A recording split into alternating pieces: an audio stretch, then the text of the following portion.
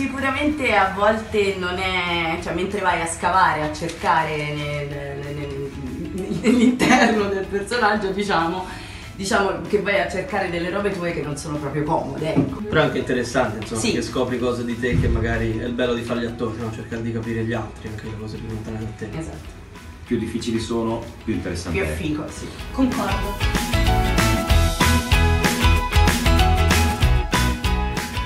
Perché? Perché è una tradizione dei nativi d'America.